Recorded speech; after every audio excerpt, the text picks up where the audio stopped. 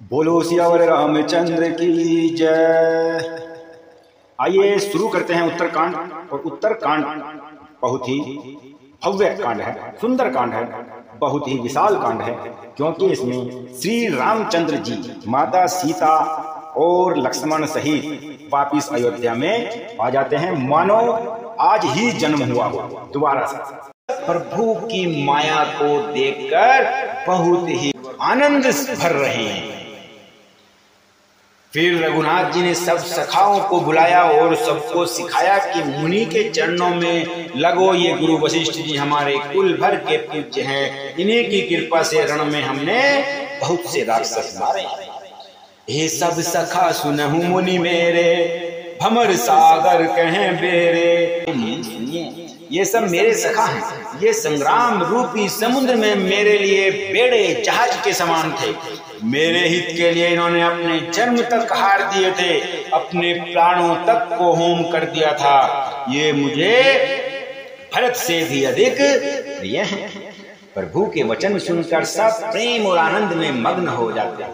इस प्रकार पल पल में उन्हें नए नए सुख उत्पन्न कर रहे हैं। कौशल्या के चरण पुनि दिन नाय आशीष दीने हरसी तुम, प्रिय मम जिमी रघुनाथ। फिर उन्होंने लोगों ने कौशल्या जी के चरणों में मस्तक नवाए कौशल्या जी ने हर्षित होकर सबको आशीष दी। तुम मुझे रघुनाथ के समान ही प्रिय हो, ऐसे वचन सुनकर सब उसके सब प्रसन्न हो गए, आनंदित हो गए। सोने के कलशों का विचित्र रीति मणि रत्नादि से अलंकृत कर और सजाकर सब लोगों ने अपने अपने दरवाजे पर रखा। सब लोगों ने मंगल के लिए बंधनवार ध्वजा और पटकाएँ लगाई। विधि सकल सुगंध सिंचाई, नारी गलियाँ सुगंधित और वो से सींच रही हैं।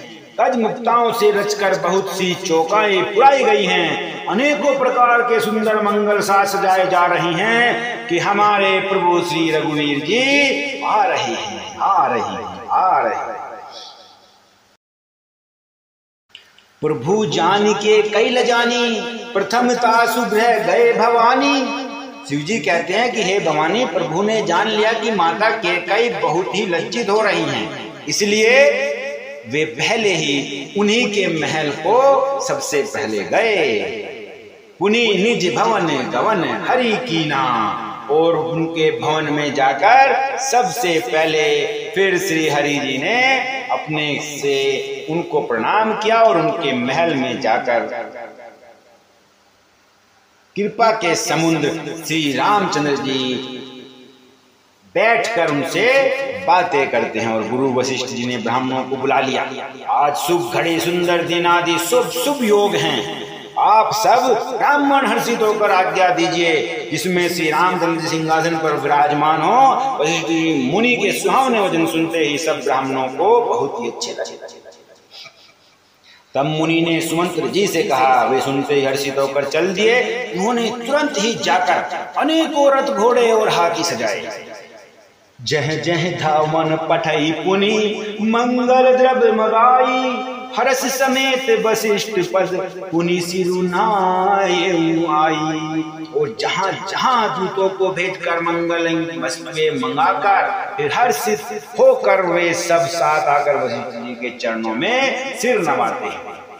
नवा परायण, आठवां विश्राम समाप्त। उत्तरकांड बहुत ही भावभीन, बहुत ही विशाल, शुद्ध, पवित्र है। इसे सुनकर सब मनोरथों को पूर्ण करने वाली कथा सब प्रसन्न हो जाते हैं।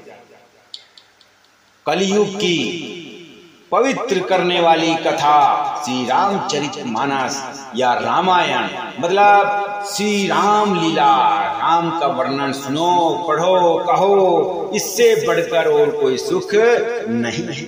जब भी, जो भी समय मिले, आप सब इसका अनुसरण करें रघुनाथ जी की रामायण, जो वाल्मीकि जी ने लिखी है, महर्षि वाल्मीकि जी ने लिखी है, वो लाओ, अपने घर में रखो, उसे पढ़ो, अपने बच्चों को भी पढ़ाओ। या तुलसीदास जी की श्री रामचरित मानस, इसको लाओ, इसको पढ़ो, ये अवध में लिखी हुई है, वो संस्कृत में लिखी हुई है, दोनों के आपको हिंदी अनुवाद मिल जाएँगे। आप इनको पढ़ोगे तो आपकी आत्मा तृप्त हो जाएँगी, आपकी आत्मा परमात्मा से मिल जाएँगे।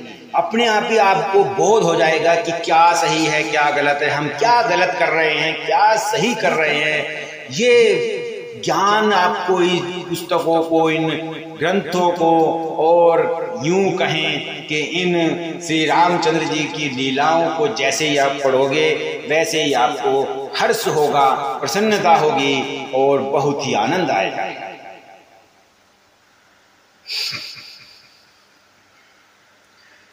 सुनत बचन जह जह तन धाये सुग्रीव वादी तुरत अनवाए। पुनि करुणा निधि भर तु हंकारे, निज कर राम जटा निरुहारे भगवान के वचन सुनते ही सेवक जहाँ तहां दौड़े और तुरंत ही उन्होंने सुग्रीव को स्नान कराया।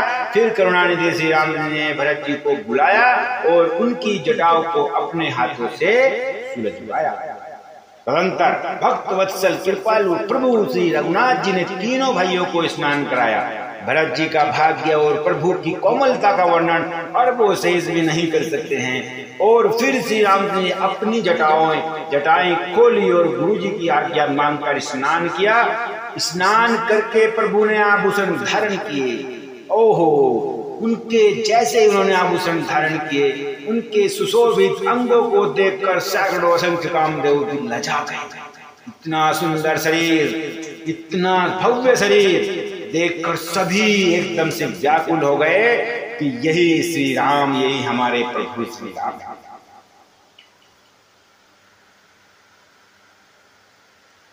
और फिर सासुओं ने जानकी जी को आदर के साथ तुरंत ही स्नान कराया और उन्हें वस्त्र आभूषण पहनाए। राम बाम दिशी सुनो। राम बाम दिशी शोभित रमा, रूप गुण खानी। देखी मातु सब हर्षि जन्म, सुफल निज जानी। श्री राम जी के बाई और रूप और गुणों की खान रमा। जानकी जी ऐसे शोभित हो रही हैं, मानो करोड़ों करोड़ों कामदेव और रति वहाँ पर बैठी हैं। उन्हें देखकर सब माताएँ अपना जन्म सफल कर रही हैं और देख देख कर बहुत ही हर्षित हो रही हैं। यहाँ पर काक जी कहते हैं कि, सुनु खगेश ते अवसर, ब्रह्मा शिव मुनि वृंद चढ़ी विमान आए सब, सुर देखन सुख कंद।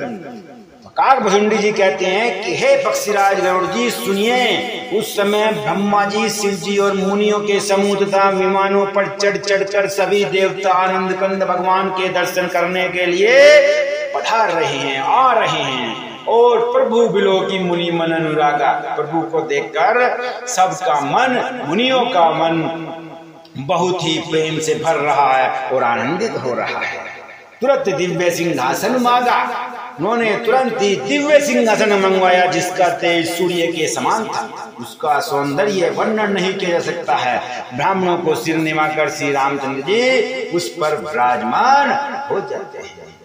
श्री जानकी जी के सहित रघुनाथ जी को देखकर मुनियों का समुदाय अत्यंत हर्षित हो रहा है। तब ब्राह्मणों ने वेद मंत्रों का उच्चारण किया। आकाश में देवता और मुनि जय जय कर रहे हैं और पुकार लगा रहे हैं। पहले मुनि वशिष्ठ जी ने तिलक किया, फिर उन्होंने सब ब्राह्मणों को तिलक करने की आज्ञा दी। पुत्र को राज सिंहासन पर देखकर माताएँ हर्षित हो रही हैं और उन्होंने बार बार उनकी आरती कर रही थी उन्होंने ब्राह्मणों को अनेक प्रकार के दान दिए याचकों को दान दिए, माला माल कर दिया, त्रिभुवन के स्वामी श्री रघुनाथ जी को अयोध्या के सिंहासन पर विराजित देखकर देवताओं ने आकाश में बहुत नगाड़े बजाए। आकाश में नगाड़े बज रहे हैं, गंधर्व और किन्नर गा रहे हैं अक्षरों के झुंड के झुंड नाच रहे हैं, देवता और मुनि परमानंद प्राप्त कर रहे हैं, भरत, लक्ष्मण और शत्रुघ्न, भीषण, अंगद, हनुमान और सुग्रीव आदि सभी क्रम से छत्र, पंखा, धनुष, तलवार, ढाल और शक्ति लिए हुए सुशोभित हो रहे हैं। बोलो सियावर रामचंद्र की जय। श्री सीता जी सहित सूर्य वंश के विभूषण श्री राम जी के चरणों में अनेकों कामदेव की छवि शोभा दे रही नवीन जल युक्त मेघों के समान श्याम शरीर पर पीताम्बर देवताओं के मन को भी मोहित कर रहे हैं। मुकुट, बाजू बंद आदि विचित्र आभूषण अंग अंग से सजे हुए हैं। कमल के समान नेत्र हैं, चौड़ी छाती और लंबी भुजाएँ, जो उनके दर्शन करते हैं, वे मनुष्य धन हो रहे हैं।